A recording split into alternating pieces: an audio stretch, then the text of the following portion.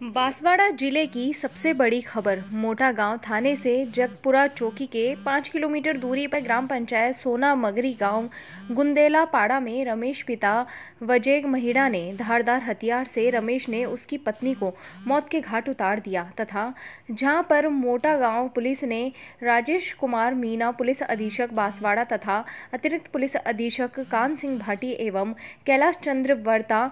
अधिकारी व्रत घाटोला के निर्देशानुसार अधिकारी धनपाल सिंह के नेतृत्व में थाना मोटा गाँव टीम ने दिनांक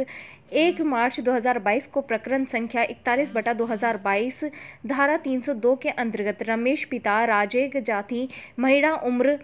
सत्ताईस वर्ष निवासी ओड़ापाड़ा गुंदेला पाड़ा सोना मगरी जगपुरा ने 28 फरवरी को अभियुक्त रमेश ने अपनी पत्नी पर अन्य व्यक्तियों के साथ अवैध संबंध के शक के आधार पर धारदार हथियार